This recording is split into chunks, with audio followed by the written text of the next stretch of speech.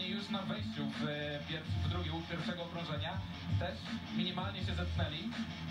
Później jechali kawałek obok siebie i później ponownie doszło do kontaktu. No tylko pytanie, czy zdane, zdaniem arbitra ten kontakt był na tyle znaczący, że doprowadził do upadku Piotra Pawlickiego. Z tej kamery widać, że Maculik dość e, radykalnie poszedł swój tor jazdy. Tak. O widzisz? Tu się zetknęli po raz pierwszy Odepchnął go i... i tu Waculik poprawił Pawlickiemu.